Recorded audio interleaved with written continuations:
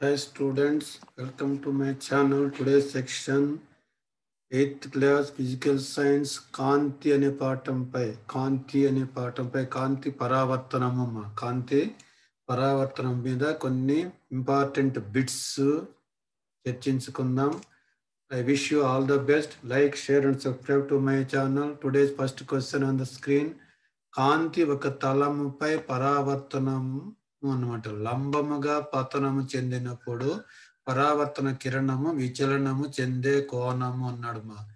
పరావర్తన కో- కిరణము విచలనము చెందే కోణము అన్నాడు మా. ఏమి? ఇది ఒక తలము అనుకున్నట్లయితే దీని ఇది దీనిపై కాంతి పతనము అవుతుంది.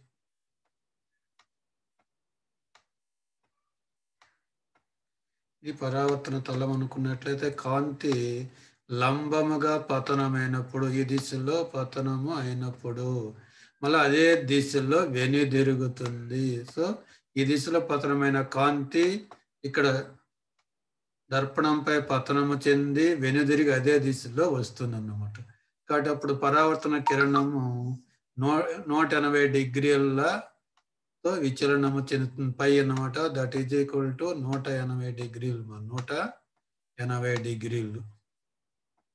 వచ్చిన మార్గంలోనే వెనుదిరిగి మళ్ళా వస్తుంది కాబట్టి మొత్తము విచలనం చెందే కోణం ఎంత అంటే నూట ఎనభై డిగ్రీలు ఒక పరావర్తన తలముపై ఐ కోణంతో పతనము చెందిన కిరణము యొక్క విచలన కోణము అన్నాడు ఐ కోణముతో విచలనము చెందితే ఐ కోణముతో పతనము చెందితే విచలన కోణము ఎంత అన్నాడు వన్ ఎయిటీ మైనస్ టూ ఐమా వన్ ఎయిటీ మైనస్ టూ ఐమా క్రింది వాళ్ళలో దృష్టి క్షేత్రము అధికముగా గల దర్పణము.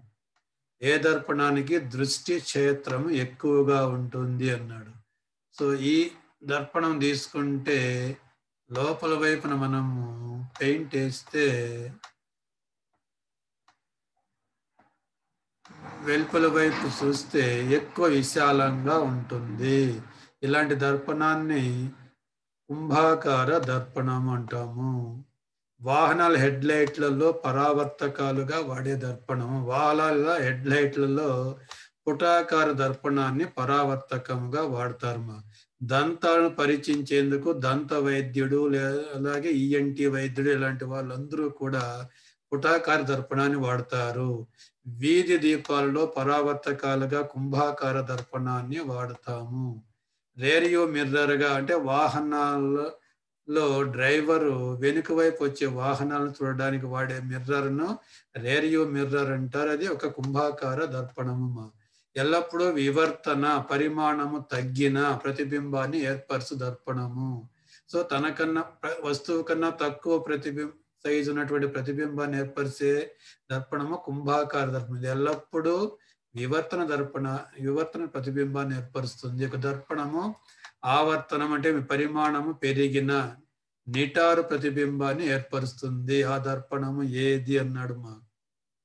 పుటాకార దర్పణము పుటాకార దర్పణము. ఇందువల్ల నిజ ప్రతిబింబము యొక్క లక్షణం అన్నమాట. నిజ ప్రతిబింబము తలక్రిందులుగా ఉంటుంది ఆవర్తనమైన అవుతుంది వివర్తనమైన అవుతుంది ఒకే పరిమాణమైన కలిగి ఉంటుంది. తెరపైన పట్టగలము. కాబట్టి అన్ని ఆన్సర్లేమా అలాగే మిథ్యా ప్రతిబింబం యొక్క లక్షణము ఆవర్తనము ఒకే పరిమాణము వివర్తనము నిటారు ప్రతిబింబము తెరపై పట్టలేకపోవడము అన్ని మా.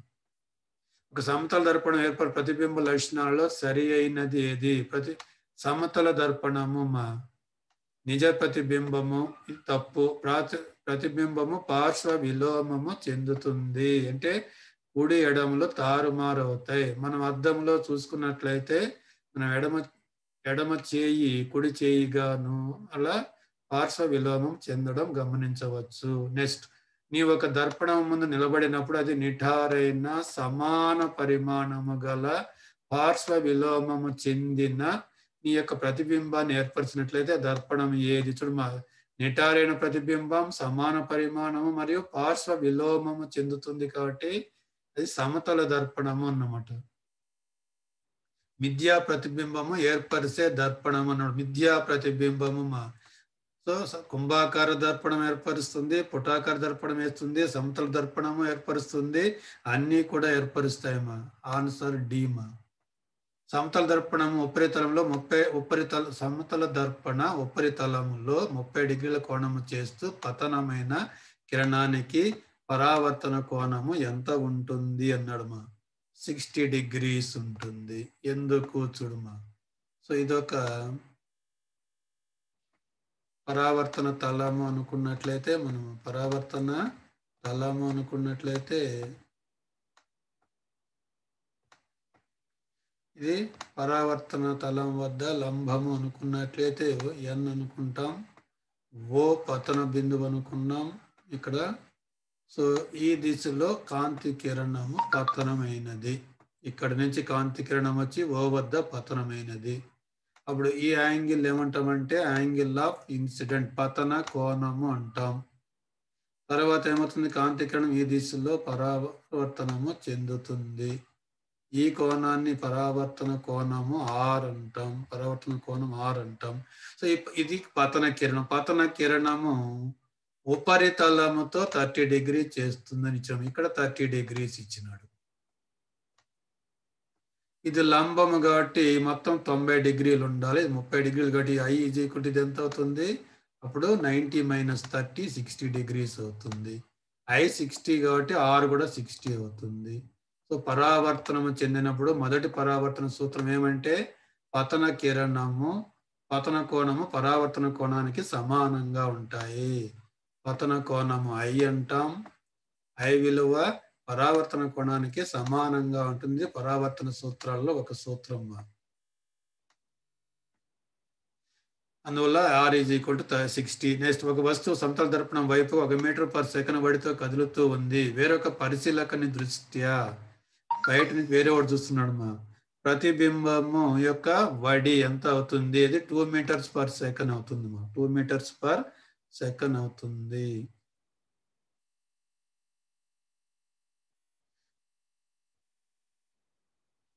నెక్స్ట్ ఒక కాంతి కిరణము సమతల దర్పణంపై ఇరవై ఐదు డిగ్రీల కోణంతో పతన కోణం చేస్తూ ఉంది. సమతల దర్పణాన్ని ఫైవ్ డిగ్రీల కోణం చేసే విధంగా తిప్పితే దానివల్ల ఏర్పడే పరావర్తన కోణం విలువ ఎంత అన్నాడు. ఇది ఒక సమతల దర్పణము అనుకున్నట్లయితే ఇది లంబము. ఇది లంబము సో లంబముతో ట్వంటీ ఫైవ్ డిగ్రీల కోణము చేస్తుంది పతన కోణము. ఇది ట్వంటీ ఫైవ్ డిగ్రీలు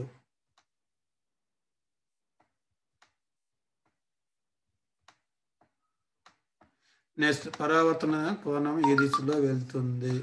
ఇక్కడ ఇది కూడా ట్వంటీ ఫైవ్ డిగ్రీస్ ఇది కూడా ట్వంటీ ఫైవ్ డిగ్రీస్ ఇప్పుడు ఏమన్నాడు దర్పణాన్ని ఐదు డిగ్రీల కోణం చేసే విధంగా తిప్పితే అన్నాడు. సో దర్పణాన్ని ఐదు డిగ్రీల కోణం చేసే విధంగా ఇట్లా తిప్పచ్చు. ఇట్లా తిప్పచ్చు. వాడు పరావర్తన కోణం ఎంత తిరుగుతుందో చూడొచ్చు.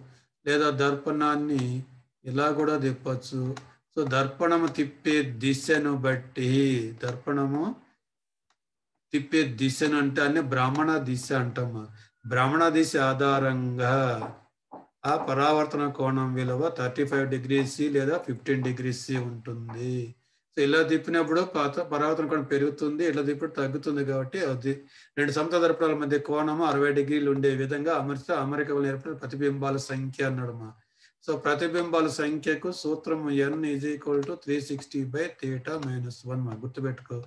360 by theta 360 by theta minus 1 360 by theta minus 1 but 360 by theta will 60 each nadma so 360 by 60 minus 1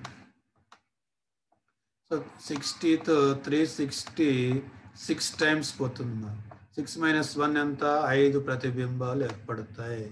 ఒక వస్తువు వల్ల మూడు ప్రతిబింబాలు ఏర్పడితే రెండు సమతల దర్పణాల మధ్య అమర్చవలసిన కోణం ఎంత? ఈసారి ఎన్ విలువ ఇచ్చినాడు మా ప్రతిబింబాల సంఖ్య మూడు ఇచ్చినాడు.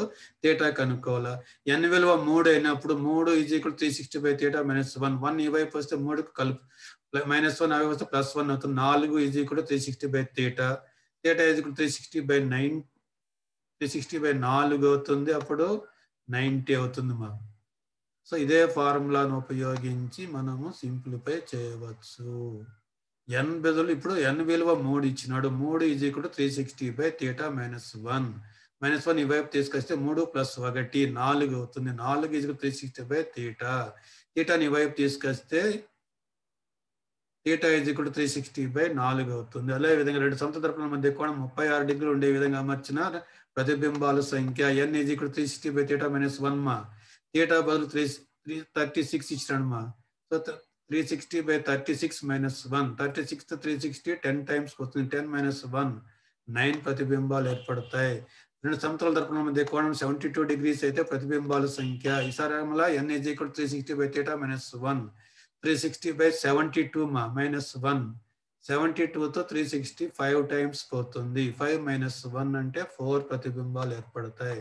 రెండు సమతల దర్పణాల మధ్య కోణం నలభై డిగ్రీలు అయినా ఏర్పడే ప్రతిబింబాల సంఖ్య same three sixty by theta minus one three sixty by నలభై మైనస్ ఒకటి. నలభైతో త్రీ సిక్స్టీ సున్నాకు సున్నా వెళ్ళిపి నాలుగుతో నాలుగు తొమ్మిది ముప్పై ఆరు. తొమ్మిది మైనస్ ఒకటి. ఇది ఈక్వల్ టు ఎనిమిది ప్రతిబింబాలు ఏర్పడతాయి. ఒక వస్తువు వలన పదిహేడు ప్రతిబింబాలు ఏర్పడవాలంటే రెండు సంతల దర్పణాల మధ్య అమర్చవలసిన కోణం ఎంత? సార్ ప్రతిబింబాల సంఖ్య ఎన్ వేలు ఇచ్చిన పదిహేడు is equal to three sixty by theta minus one minus one ఈ వైపు వస్తే పదిహేడు ప్లస్ ఒకటి పద్దెనిమిది అవుతుంది. పద్దెనిమిది is equal three sixty by theta థీటాని ఈ వైపు తీసుకొస్తే త్రీ సిక్స్టీ బై పద్దెనిమిది అవుతుంది. పద్దెనిమిది రెండులో ముప్పై ఆరు కాబట్టి ఇరవై డిగ్రీలు అవుతుంది. కారు యొక్క హెడ్ లైట్లలో ఉపయోగించు దర్పణం. హెడ్ లైట్లలో అన్నప్పుడు పుటాకార దర్పణము. కాంతి కిరణమును గాజు దిమ్మపై లంబముగా పతనమైన పరావర్తన కిరణం ఏమవుతుంది? పరావర్తన కిరణము ఏమవుతుంది? లంబమునకు దగ్గరగా వంగుతుంది. లంబానికి దూరంగా వంగుతుంది. లంబము దిశలోనే ముందుకు వెళుతుంది. ఏది కాదు. సో కాంతి కిరణము గాజు దిమ్మెపై లంబముగా పతనమవుతుంది కాబట్టి లంబ దిశలోనే ముందుకు వెళుతుంది. ఒక వ్యక్తి సమతల దర్పణం వైపుగా పదహైదు మీటర్లు పర్ సెకండ్ వడితో పరిగెత్తుతూ ఉంటే అతని ప్రతిబింబము కదిలే వేగము అన్నాడు మా. సేమ్ అంతే వడితో కదులుతుంది. రెండు సమతల దర్పణాలు ఒకదానితో ఒకటి నలభై ఐదు డిగ్రీల కోణము చేస్తూ ఉంటే వాటి మధ్య ఉంచిన వస్తువులు ఏర్పడి ప్రతిబింబాల సంఖ్య. ఇంతకు ముందు లాగానే N is equal to three sixty by theta minus one మా. N three sixty by forty five minus one. Forty ఫైవ్తో three sixty ఎనిమిది సార్లు పోతుంది మా. ఎనిమిది మైనస్ ఒకటి ఏడు ప్రతిబింబాలు. So three sixty by forty five minus one అనమాట ఫార్ములా. ఒక వస్తువుల ఐదు ప్రతిబింబాలు ఏర్పడవలనంటే రెండు సమతల దర్పణంలో అమర్చవలసిన కోణము. ఐదు ఏర్పడాలంటే ఏం చేయాలా? ఐదు ఈజ్ ఇప్పుడు three sixty by theta minus one. Minus one ఇవైపు వస్తే ఐదు ప్లస్ ఒకటి. ఆరు ఈజ్ ఇప్పుడు త్రీ సిక్స్టీ బై థీటా అవుతుంది. థీటా ఈజ్ ఇప్పుడు త్రీ సిక్స్టీ బై సిక్స్ అవుతుంది. That is equal to sixty degrees వీటిల్లో ఏది లేదు మా. ఐదు ప్రతిబింబాలు ఏర్పడాలంటే ఏది లేదు.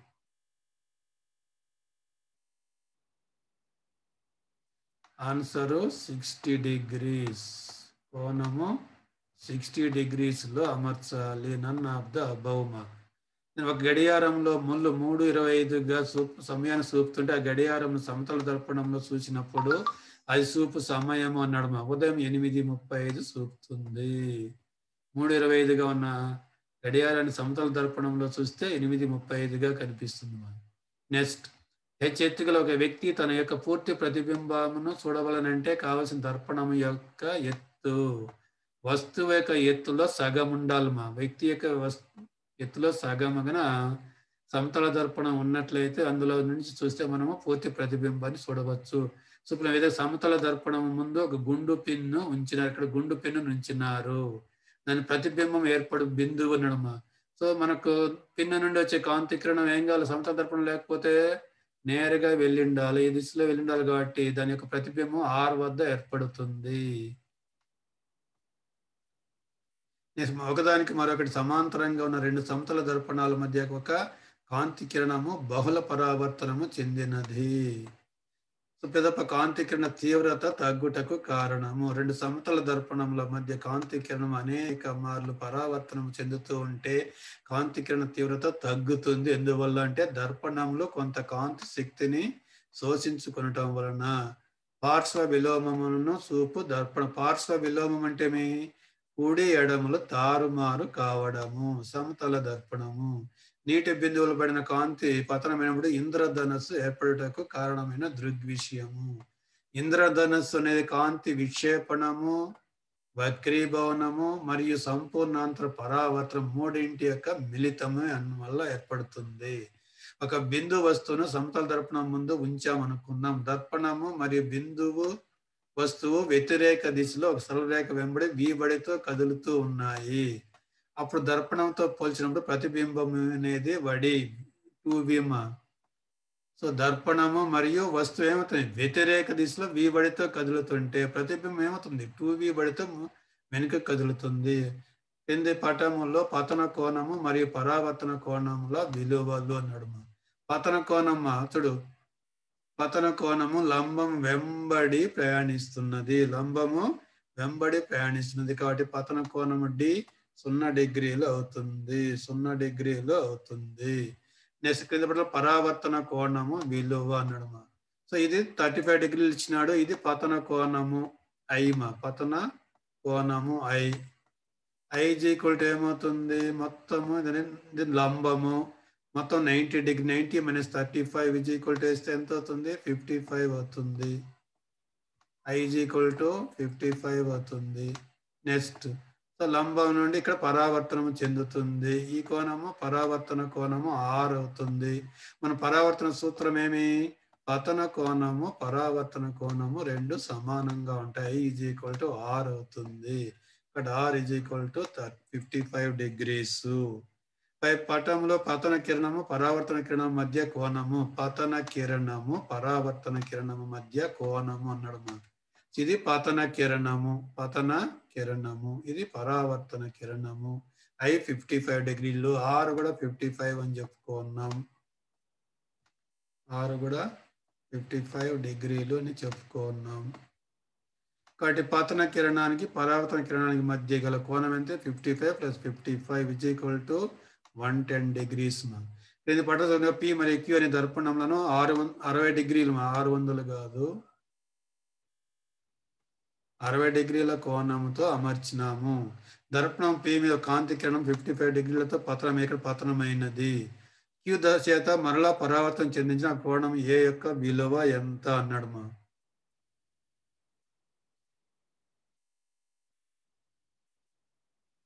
సో ఇక్కడ ఫిఫ్టీ ఫైవ్ డిగ్రీల కోణంతో పతనమైనది. సరే ఇది తీసుకుంటాం.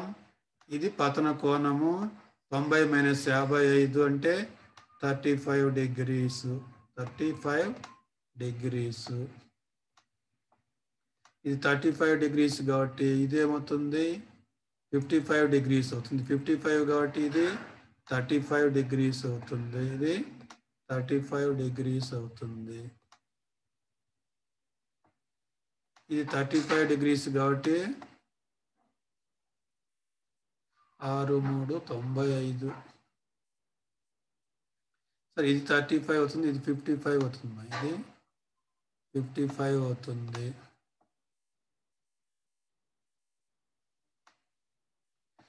సో ఆరు యాభై ఐదు యాభై ఆరు ఐదు నూట పదహైదు నూట ఎనభై నూట పదహైదు పోతే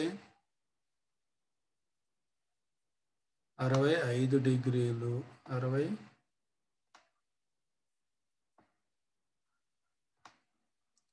ఐదు డిగ్రీలు అరవై ఐదు డిగ్రీలు.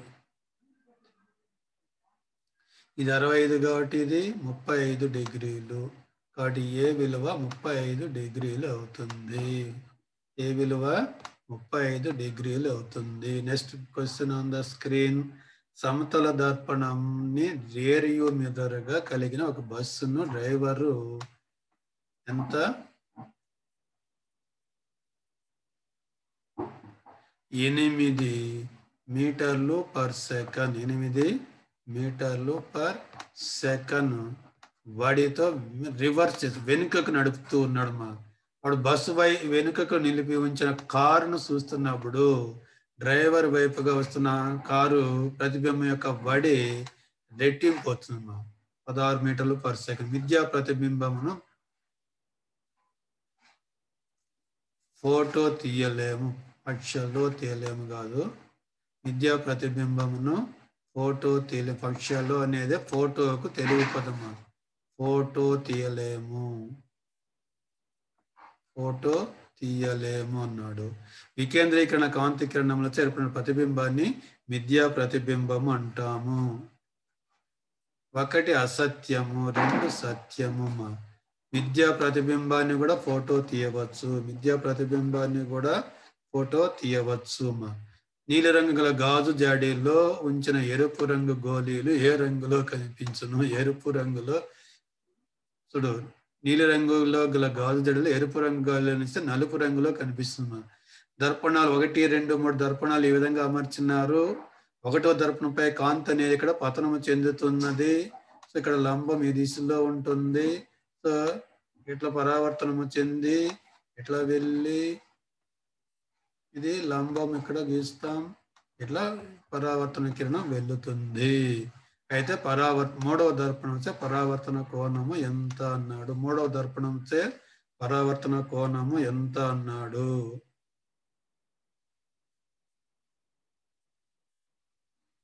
మూడవ దర్పణంసే పరావర్తనం పరావర్తన ఇది ముప్పై డిగ్రీలు ఇచ్చినాడు మా కాబట్టి ఇదేమవుతుంది?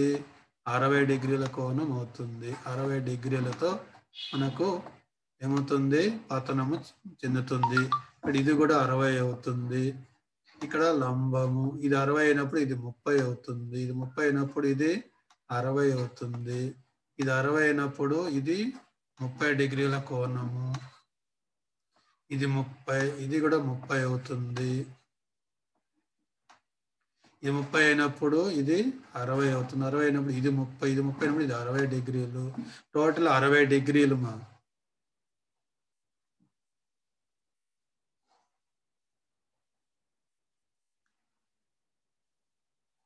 సో టోటల్ ఆన్సర్ అరవై డిగ్రీలు ఉండాలా? ఇక్కడ ఏది లేదు. అరవై డిగ్రీలు ఉండాలి. అరవై డిగ్రీల కోణముతో పతనము పరావర్తనము చెందుతుంది. క్రింద ఇవ్వబడిన ఆంగ్ల అక్షరాలు సమతల దర్పణంలో పరిచించినప్పుడు ఆకారంలో ఎటువంటి మార్పు లేకుండా కనిపించే అక్షరము మా ఇక్కడ కన్నా సమతల దర్పణం ఉంచితే మనకు టీ ఆకారంలో ఎటువంటి మార్పు లేకుండా టీ టీగానే మనకు కనిపిస్తుంది.